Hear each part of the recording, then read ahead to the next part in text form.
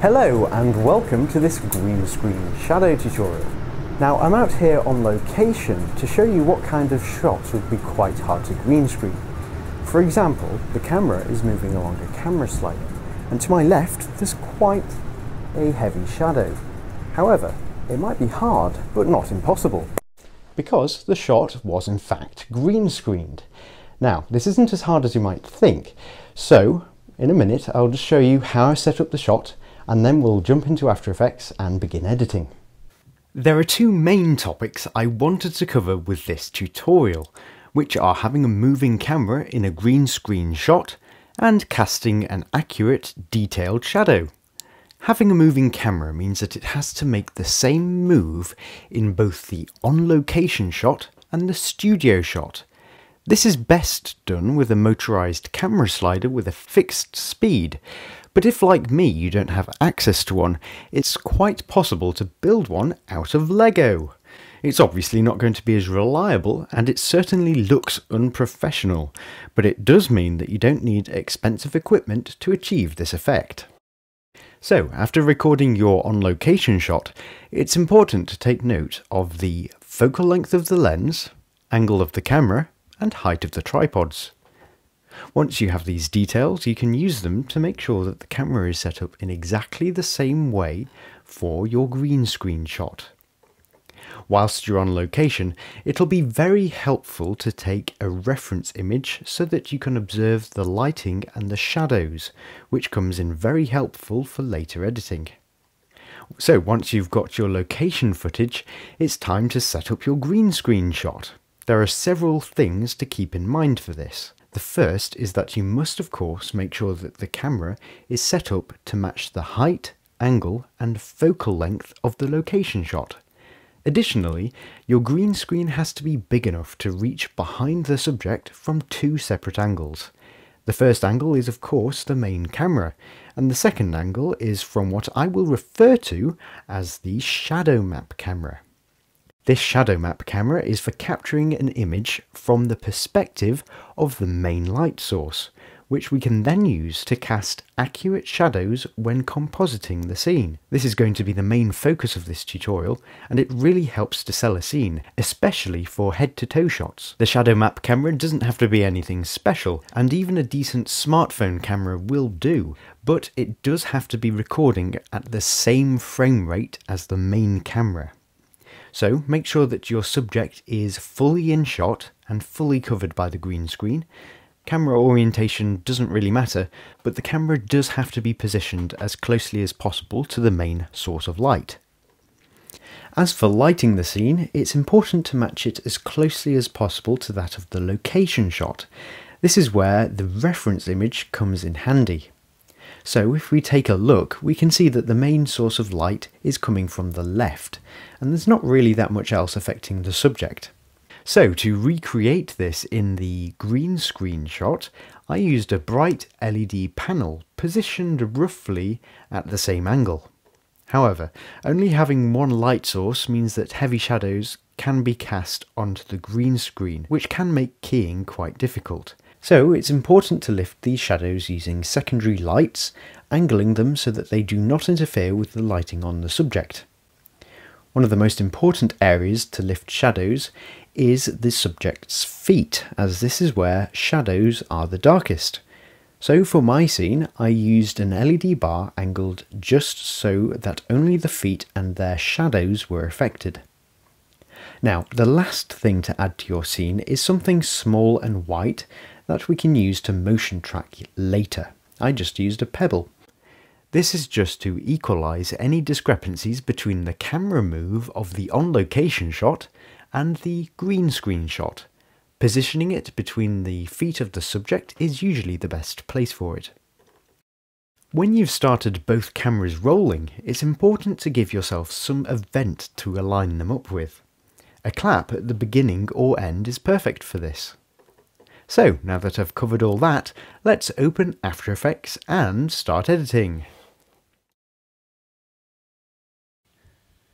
Okay, so if you've done all this correctly, you should have three separate clips. One of the location, one of the main green screen, which is going to be composited over the location camera, and a shadow map viewpoint.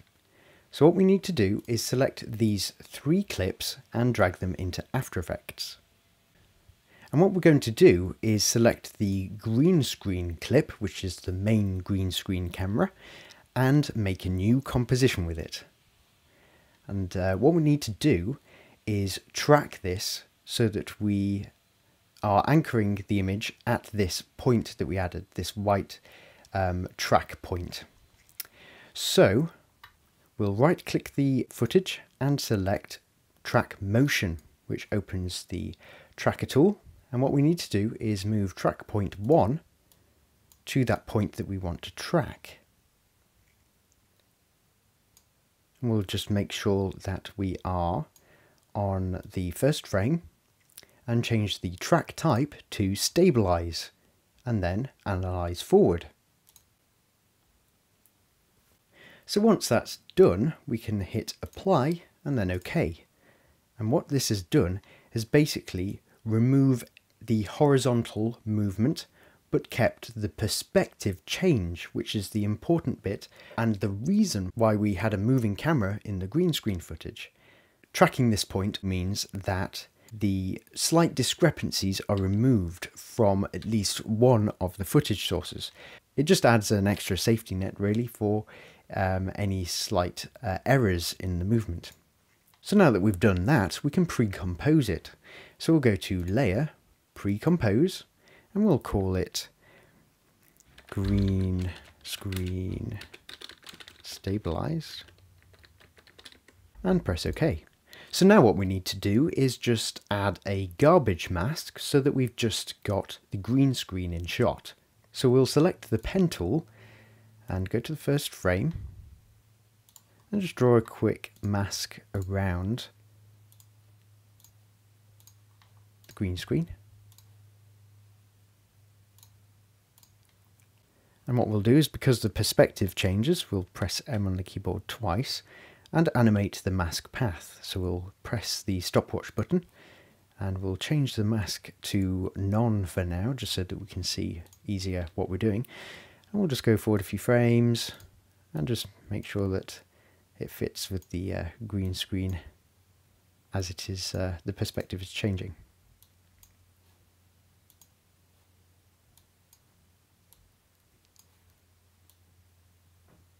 So once that's done, we'll change it back to add, and we've just got a basic garbage mask. So what we need to do now is track our location camera in 3D. So we'll select it in the project panel and make a new composition with it. And we'll change the name of this composition to main comp and press OK.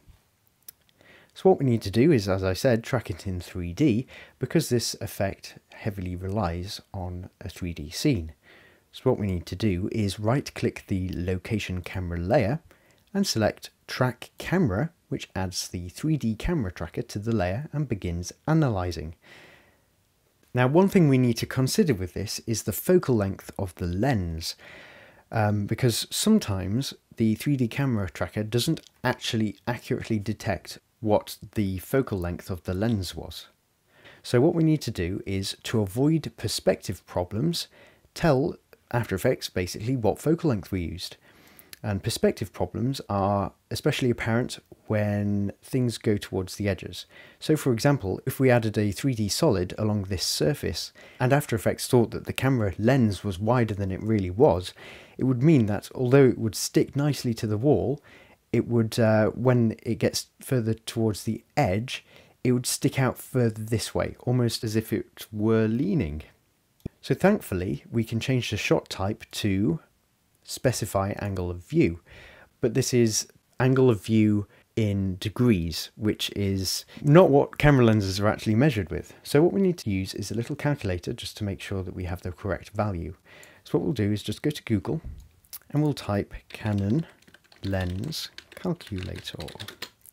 Then go to the main link that comes up and we'll select calculate angle of view. So what we need to do is enter the full frame equivalent focal length of the lens in millimeters. Now the lens I used was equivalent to 28 millimeters, so we'll punch in 28 and press calculate. And what we need to do is look at the 35 millimeter still row and see the horizontal column and this is the value that we need to tell After Effects. So it's 65.5 degrees. So we'll just go into After Effects and specify the angle of view. 65.5 degrees. So once it's finished analysing the footage, it will solve the camera with that angle of view and will mean that the perspective will be accurate, which is quite important. Okay, so once the camera tracker has finished tracking, you should have plenty of little track points on your footage. So what we need to do now is recreate the surfaces that we want shadows to fall upon. So because the light is over here to the left and I'm thinking about putting the subject around about here, the shadow will be on the ground and up this wall. So what we need to do is make a uh, make some solids to represent these surfaces. So what we'll do is just select some of these track points and then we'll check with the target just to make sure that it's representing that surface quite well.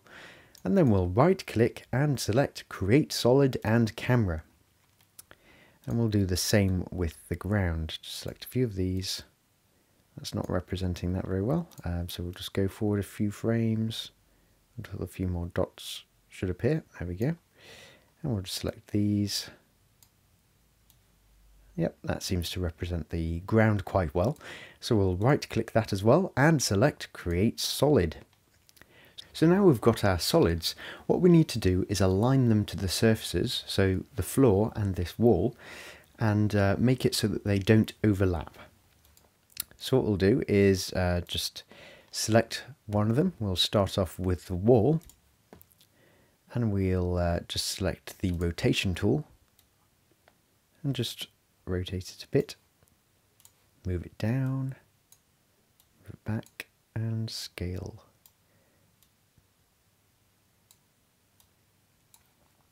It's important not to move it away from the surface, but just to rotate it and uh, scale it. Press R on the keyboard to adjust this a bit more finely. Scale it up. Okay, so that looks like it uh, represents the surface reasonably well. And just to check it, I'm going to go to Effect, Noise and Grain, Fractal Noise, which just adds uh, some texture to the surface. And then I'll change the uh, mode to Overlay so what we can do is just RAM preview and just check that the solid sticks to the surface um, well without the texture moving around. Okay, so as you can see, um, that represents the surface quite nicely. So we'll now just position the floor layer. Rotate. Move. Scale it up. And again, I will add a fractal noise layer to this uh, solid, just so that we can um, just check that it is representing the surface quite nicely. And of course, changing the camera angle can be quite helpful. Press, I'm going to press R on the keyboard just to bring up the rotation options. Set that to negative 2.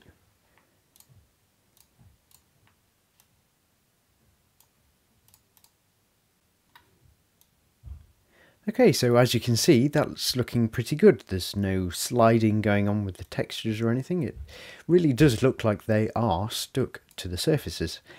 So um, what we can do now is just disable the fractal noise effect and change the mode back to normal. Okay, so what we can do now is bring in our main green screen composition which is the uh, one we made earlier. So we'll go to the project panel and select main green screen and just drag it into this composition. And what we'll do first is just put it on top and we'll go to Effect, Keying, Keylight, and we'll just uh, select the dropper tool and then select the green of the screen. So that's done basically a really quick uh, key and what we'll do is um, as you can see here and down here it's not looking very good at all so what we'll do is change the view in Keylight to screen matte and change some values. Now with this, black represents fully transparent, whilst white represents not transparent at all. So what we can do is bring down this screen matte option, and we can clip the black and white values just to sort of trim it a bit. So we'll uh, clip black up to a value where it uh, gets rid of as much noise as possible on the green screen. Let's try uh, 41. And we'll do the same with white.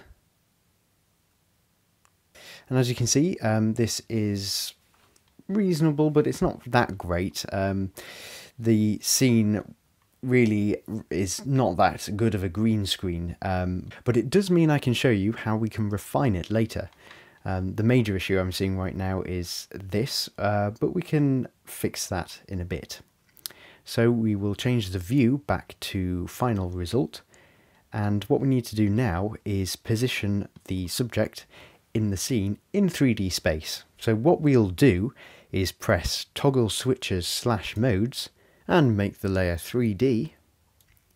And then what we can do is push the subject back until you start to see the layer disappear into the floor because this really does represent where it is in 3D space. So what we need to do is just position uh, this layer where we want this object to stand. So we'll just position it so that the feet are just above uh, being clipped by this uh, orange layer. Now we need to check that the timing of these layers is correct. Because as you can see, the slide of the background layer doesn't actually start until about three seconds in. So what we can do is just move along the green screen composition and trim the work area as well. Right click it and select trim comp to work area. So that means that it starts at roughly the same time. So as you can see, as I slide through the timeline, it really does look like uh, the character is standing there in the scene. The main things to note are the perspective on, say, the shoes. You can see that the angle actually does change as if it really, as if they really were there on the main camera slide. So um, obviously right now uh, there is no shadow and this is a really quite a basic key and uh, we've got some issues down here so let's continue and sort those things out. Okay so the first thing we'll tackle is the key. So what we'll do is select our main green screen layer and go to Effect, Matte, Refine Matte. So we'll make this look a little better. Now already you can see that it has taken away some of that spill but it's also smoothed out the edges of the key a bit too much and it's sort of lost a bit of organicness. So we'll just adjust some settings to fix that. So what we'll do is just make a temporary color layer just so that we can see this key a bit better. So we'll go to layer, new solid and uh, make sure it's comp size and we'll just have it um, sort of like pale red and then press OK and we'll put this behind the main green screen. So what this does is just means that we can actually see what we're doing a bit better. Right, so let's go back to the green screen layer. One thing we need to consider with Keylight is the replacement method. Currently it's on soft color, but there are two other options, uh, hard color and source. For this tutorial, I uh, am actually going to stick with soft colour, but depending on your scene, it might be quite good to go with one of the other options. For example, Source just places the original footage in without reducing any of this green spill, but Hard Colour actually um, tries to correct the green spill, as you can see, um, but it doesn't correct for luminance change, so it can look a bit washed out with hard colour. So what I like doing is using soft colour, which means that it corrects the spill, but also keeps the correct luminance, so it keeps things nice and contrasty. Um, but the downside of using soft colour is that if your camera has quite heavy compression, it can create some heavy noise. But for this particular scene, it actually matches the noise of the background plate. So um, soft colour is actually an ideal choice. So we'll just leave it at that for now, but remember that you can select any of these three settings, depending on what looks best. So we'll uh, minimize Keylight for now and start playing with the refine matte filter. Now, with refine matte, everything is relative to how high this smooth setting is. For example, with smooth set to 2, I can set the feather to 100% and it's pretty blurred. But if I set smooth to 1, it reduces the feather amount quite a bit so that's something to keep in mind. So what we'll do is just set it to the smooth amount to 1 and we'll increase the feather amount to 70. Now that might seem like quite a lot, but the goal of setting the feather amount is to match the sharpness of the footage. So for example, if we look at this point on the hood, you can see that it's not actually pin sharp. So if we try and match the edges of the coat to the sharpness of that point, this little white point here, it means that we can actually get a fairly convincing key. But don't go overboard with the feather because it can really ruin a key quite a lot. So just keep it um, fairly low, but just enough to match the sharpness of the overall shot. Another thing we can change is the choke amount because as you can see up here, it seems like the there's a sort of a dark rim around the hat. So we'll just increase the choke amount, which um, takes a few pixels away from the edge. It's only very slight because we're working with quite a low smooth value. So even a choke of 100% doesn't actually take away that much, but it's just enough um, to improve things slightly. Uh, we'll leave reduce chatter at 50% and we'll leave uh, use motion blur uh, ticked because it actually does have quite a good effect. As you can see here, this is with motion blur on. Observe this hand. And this is with it off. So it just smooths those edges and makes it look quite realistic. Another thing we can do is change the decontamination amount. So this is increased decontamination. And if we increase it, what it does is uh, homogenize the colors of the edges. So for example, if we put this to an extreme value, say 6, you can see that it sort of, uh, it definitely gets rid of that um, black rim, but it's also blurring the edges a bit too much. So a value of 6 is obviously too high. So we'll go something, we'll try 2, value of 2.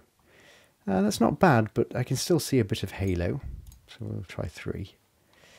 I think that's as far as I'm willing to go without it actually affecting the rest of the key um, but it does improve that halo effect quite nicely.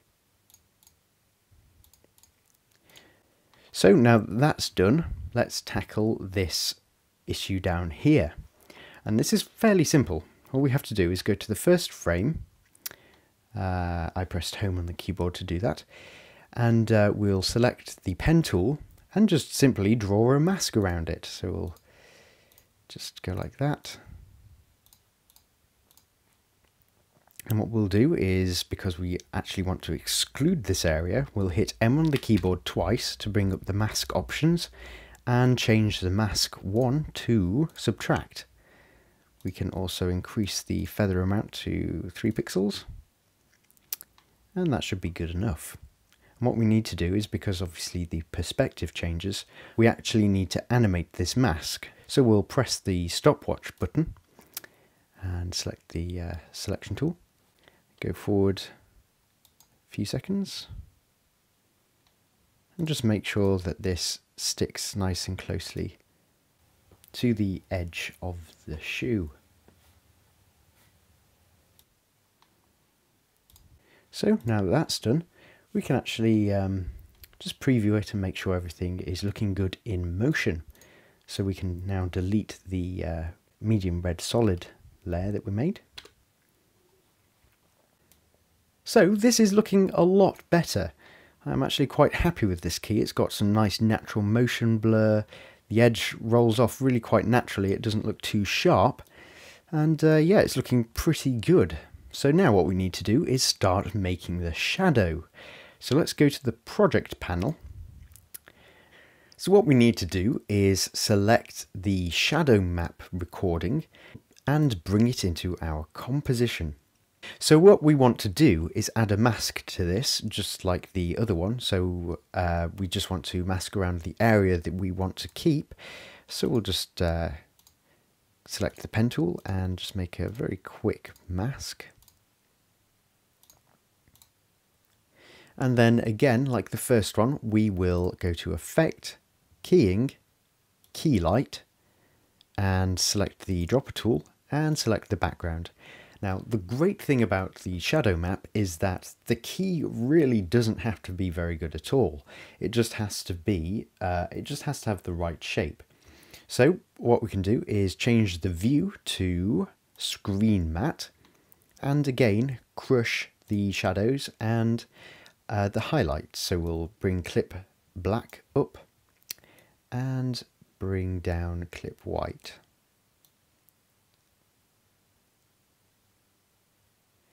Now you can see that there are some um, issues in the uh, middle here, but because we're going to be blurring this, it won't actually matter at all. It just has to be a very, very rough uh, key. I mean, as you can see, this looks really bad in colour, but we're going to make it actually completely black anyway. So we'll go to Effect, Colour Correction, Levels,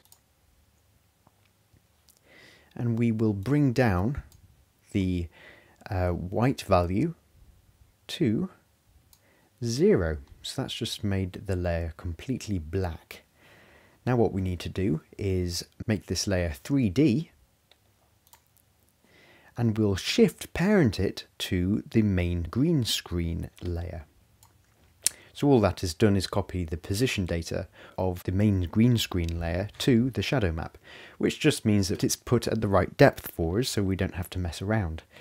So what we'll do is select the rotation tool and just rotate this layer so that it's the right way up. We'll move it to one side and again select the rotation tool and rotate it on its x-axis so that it is basically almost perpendicular to the main green screen layer. The first thing we'll do is just make it a bit smaller. And uh, this will probably need some tweaking later, but this will do for now. So what we need to do now is create a light in this scene that can use this shadow map layer to cast a shadow upon the um, solids that we made earlier. So what we need to do is go to Layer, New, Light, and we'll make sure it's a point light, and uh, we'll set Shadow Diffusion to zero for now, but we will need to turn it up later. And Shadow Darkness needs to be at 100%, and we need to make sure that Cast Shadows is of course selected. So we'll press OK, and that's created a light in our scene, and we'll just move it over to the left here because that's obviously where the light is actually going to be coming from. And what we need to do is just tell After Effects that we need uh, this layer to be casting shadows. So we'll select it and press A on the keyboard twice to bring up the material options and we'll set cast shadows to on and we'll set light transmission to 100%. Actually, we'll set cast shadows to only so that it is actually invisible apart from its shadow. So only its shadow is visible. So uh, that's that done. And what we need to do is turn on our solids and change some settings on here. But first, what we'll do is just position the light so that um, it's uh, closer to where it needs to be, because currently it's actually too far forward. So we'll push it back a bit. And as you can see, there is actually a shadow being cast there, although it's a little far off. We'll, bring, we'll press P on the keyboard to bring up the positional options of the light because it will be easier to adjust those. Oops. So as you can see, there's, you know, a shadow.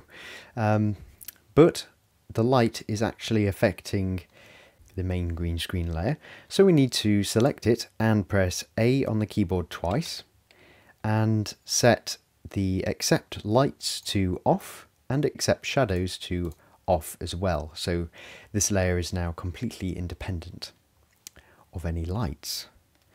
So what we need to do now is change some values of these solids. So we'll press A on the keyboard twice, we'll select both actually, and press A on the keyboard twice again to bring up the material options, and we'll set accept shadows to only.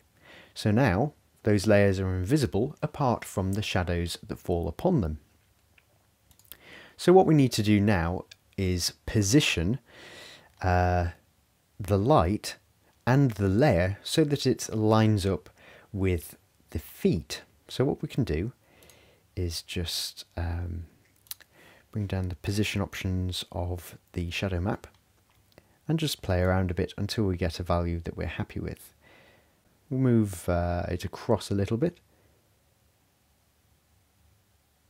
So we'll just move it up a little bit, perhaps a bit uh, closer to the subject.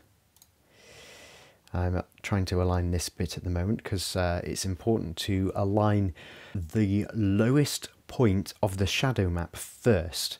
So uh, the lowest bit is obviously this shoe what we need to do now is obviously align this one as well. So what we'll do is just select the light and just tweak it. Maybe make it a bit higher. And push it back a bit. And there we go, that's where I want my shadow to be. Now currently this is actually way too black for a shadow, but we're actually going to use this as a luma matte, uh, so we can adjust its intensity later. But what we can do for now is just blur it out a bit, because currently it's uh, way too sharp for a shadow. So we'll make sure the light is selected and go to Layer, Light Settings, and increase the shadow diffusion. That's a bit too high. Set it to about 46. Maybe a bit lower, perhaps 30. So this is with a shadow diffusion of 30, and as you can see, it's starting to look pretty cool. But we can see a limit of this effect. Now, because this is a 2D shadow map, it means that the point of origin of the entire shadow is this lowest point, which is this shoe. So this is the lowest point, followed by the next shoe. Now what this means is that because of the shadow diffusion, the shadow is sharper the closer it is to the thing casting that shadow. So here we, can see that this shoe has quite a nice sharp shadow which then gets blurrier the further away it gets. However this shadow is immediately blurry. It is a limit of this effect um, but did you notice it when you watched the intro video? I'm guessing you didn't, so it really doesn't matter that much. Another thing to keep in mind is um, if I were to put my hand up to this wall, because the shadow is actually being cast in 2D from here, it means that it won't be accurately positioned on the wall. So it's just something to keep in mind when you are using this effect. But as you can see, it's still pretty versatile and um, is quite convincing too. So now that we've got the light positioned and a shadow, we can start tweaking it to fit with the environment a bit more accurately. Now the first thing you'll probably notice is the sort of the fact that the shadow is um, overlaying this hole when it should be falling within it.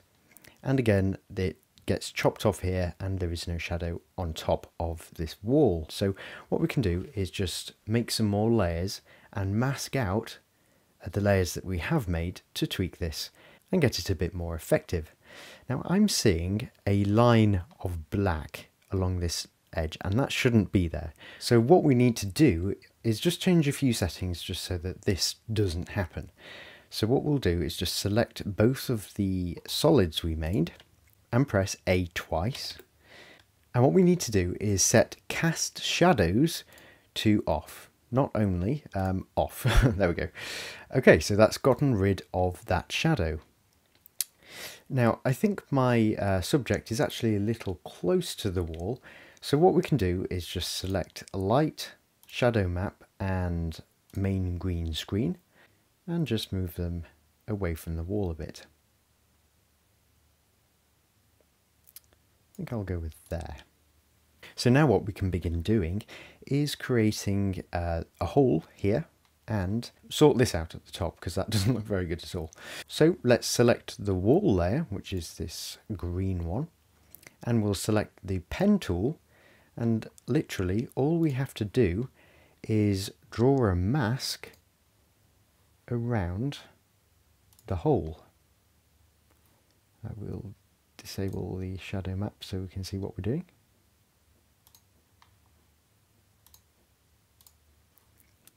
And if we enable everything again, uh, you can see that um, that's obviously doing the wrong thing. So what we need to do is press M on the keyboard twice and change the mask to subtract. And it's looking a little sharp, so we'll set the feather to around 2 pixels. And we'll expand it by negative 1. So that's looking pretty good. I mean, it's better than it was before, right? so next we need to actually make another 3D solid um, to put in this little, uh, on this little shelf.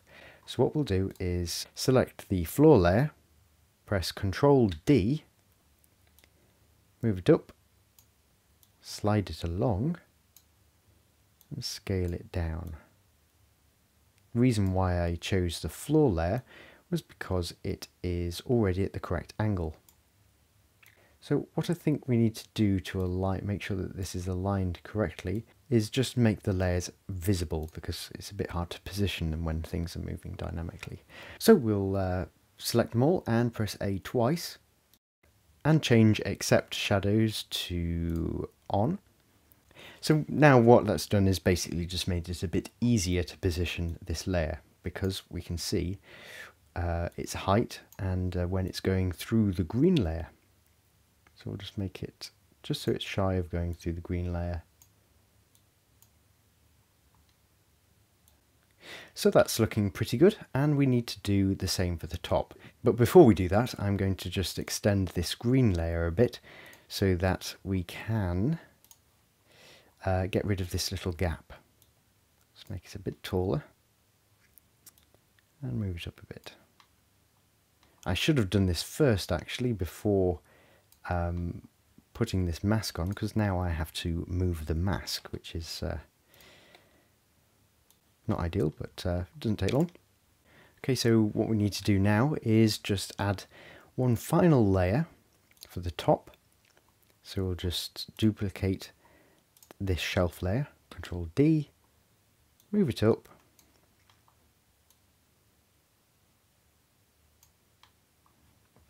Looks like it needs to be rotated a little. So now what we can do is select all of these solids, press A on the keyboard twice and set accept shadows to only. So now you can see we've got a shadow on top and a shadow in here.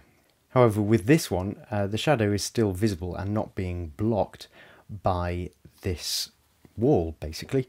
But thankfully this is actually quite easy to fix. I think we'll just rename some of these solids just so that we know what's what a bit more. Call this one wall, which is the green one. And we'll call this one shelf. And what we need to do is duplicate the wall layer, so Control D, and we'll move it above the shelf layer and then select the shelf layer and go to toggle switches slash modes and we'll set the track matte of this shelf layer to alpha matte inverted wall 2 which is the wall layer that we just duplicated so that basically just uses it as a mask and gets rid of that overlap. So it's not that far from being completed now, but there are a few other things we need to tweak. Now, um, the timing of this shadow map layer is actually wrong. Uh, so if we preview it, you'll see what I mean. So as you can see, the shadow is severely out of sync.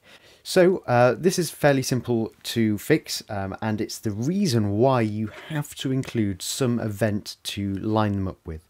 Now the event I used was a clap. So we'll just go to the frame where I clap, which is just here and all we have to do is select the shadow map layer and drag it to match.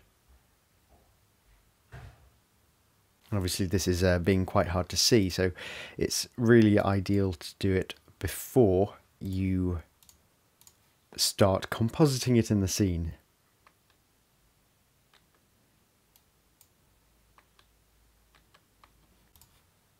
Okay, so now that they're aligned, I'll just set everything back to how it was. So as you can see, this is starting to come together quite nicely. Now, currently it's still pretty dark, the shadow, too dark, in fact, and um, I'm looking a bit washed out in the scene. But whilst I was on location, I took a reference image of how I looked in the scene in reality. So we'll just bring that reference image into After Effects, double click it, and uh, which opens the layer but we can uh, move the panel to one side just so that we can use it for comparison. So uh, the first thing I can see is that there is a lot more contrast on the reference image, so I think we should tackle that first. So we'll select the green screen composition and go to Effect, Color Correction, Curves, and what we can do is just uh, make it a lot brighter Perhaps not have such a smooth roll off, um, but clip as well. Oh, there we go, that's starting to look a bit better. Um, crush the shadows a little bit, but not too much. So brightness wise, that's looking a little bit better. Um, but the colour is wrong, so what we can do is just go change the channel to green, bring green down a smidge. So um, that's not perfect, but it is a little bit better. I think it perhaps is a bit too saturated, so we'll go to Effect, Colour Correction, Colour Balance, and bring down the saturation by, say, 10, just to see. That's looking reasonable. Perhaps uh, it's a little bit too red, so we can bring down the red a tiny bit. And that's uh, a lot better than it was. So that's how it used to be, and that's how it is now. Um, so let's have a look at the shadow now. And as you can see, uh, the fake shadow is pretty dark. Um, the blurriness is about right. And uh, so what we can do is close this reference image for now. So now what we need to do is use this shadow map as a mask so that we can actually fine tune the colour of the shadow. So we will first select the 3D camera and duplicate it, so Control D, and now what we'll do is just make sure the duplicate is selected and then select all of our solids and the shadow map and the light and we'll go to layer pre-compose and we'll call this shadow map comp and press OK. And now we need to move that below the main green screen composition and we'll just enter that composition we've just made and go to layer new solid, we'll make a white solid at comp size and move it underneath everything. So now, as you can see, we've got basically a Luma matte. Now before we go any further, I've just noticed that we've still got this um, little pebble in the scene. So what we can do is just go into the shadow map comp, double click the shadow map layer, and just add a little mask around that little track point. Press M twice and change this new mask to subtract. So that's just, just gotten rid of that nice and quickly. So now what we can do is select the location camera layer, which is the background plate, and delete the camera tracker from it and duplicate it. So Control D. And now what we can do is just move the shadow map composition above this new duplicate and then set the track matte of the location camera layer to Luma inverted matte shadow map comp. Now it seems to have made the shadow disappear, but it hasn't. We've just basically made this layer use the shadow map comp as a mask. So what we can do is adjust the shadow um, and give it some texture. So we'll make sure our layer is selected and go to Effect, Color Correction, Curves. And now we can actually fine tune the shadow and basically just make it look however we like. So uh, I think we'll um, just bring down the total brightness and soften it a bit. So we want to keep some texture. That looks pretty good. Now if we open up the reference image, we can see that the shadow actually has a bit of a yellow tinge to it. If we increase this exposure a little bit. We can see that the uh, shadow has a bit of a yellow tinge to it and that tinge is actually coming from the other lights in the scene. So what we can do is change some RGB values. So we'll go to blue and bring blue down. And uh, go to green and bring that down as well. So that's looking pretty good. Uh, let's reset the exposure. That's looking pretty cool. So one final thing we can do is add a bit of tonality to the shoes because when I used the LED bar they were lit up um, and the shadows on them were uh, lifted. So uh, as you can see on this side, it doesn't really look like there's a shadow. So what we can do is just make a new solid, so layer, new solid, and we'll make it black. And then we will make it 3D and shift parent it to the main green screen composition. We'll press T on the keyboard to bring up the opacity and bring it down just so that we can see what we're doing a bit more. And now what we can do is just add a little mask around where we want to create the shadow.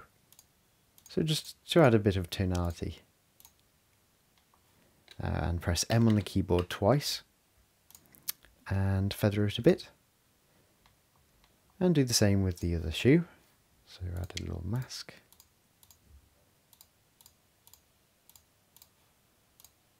And feather it. And perhaps bring up the opacity. Not too much though, we only want a subtle effect. So that's just added a bit of tonality back to the shoes. Now, I think it's time we had a look at what we've made. So as you can see, this is looking pretty good. We've got a nice shadow in this gap, uh, we've got a shadow on top, and we've got a nice accurate and rather detailed shadow. It's looking pretty convincing. And with the colour correction on um, the subject, it really does look like I'm standing there in the scene. So that's this tutorial finished. I hope you've uh, enjoyed it and have picked up quite a few good tips and I hope you're able to make some really cool things with the techniques we've learned. I'm Matthew Perks and I hope you've enjoyed this Tuts Plus tutorial.